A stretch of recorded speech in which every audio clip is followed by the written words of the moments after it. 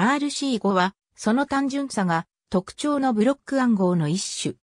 1994年、ロナルド・リベストが設計した。RC は、リベスト・サイファー、または、ロン、エスコードの略。アイスの候補となった RC6 は RC5 をベースとしている。RC5 はラウンド関数で使用する演算に関する研究と評価を促進することを目的として設計された非常にシンプルな構造をしたブロック暗号である。RC5 はデータ依存の回転という目新しい演算を採用したこととアルゴリズムの単純さによって暗号解読者らにとって魅力的な研究対象となった。データによってローテーション数が変化することは最大差分確率の上界の評価が複雑になることを意味する。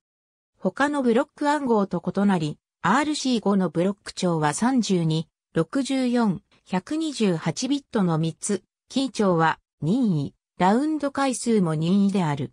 本来のパラメータ推奨値は、ブロック長64ビット、キー長128ビット、12ラウンドである。アルゴリズムの基本構造は、フェイステル風のネットワークである。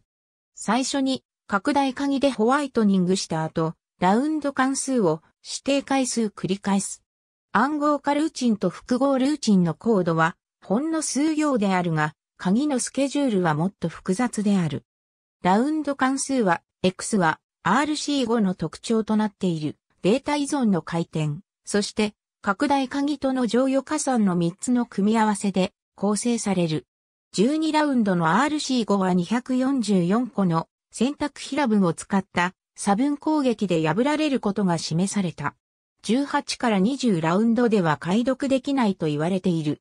このアルゴリズムの特許を保有する RSA セキュリティは RC5 で作成した暗号文を解読できたものに1万ドルを提供する暗号解読コンテストをいくつか発表している。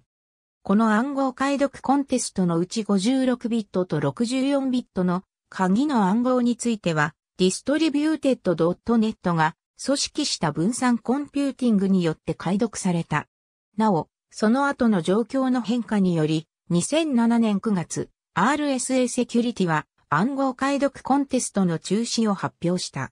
AB Biryukov A& Kushilevitz E、 Improved Cryptanalysis of RC5、 Eurocrypt 1998。ありがとうございます。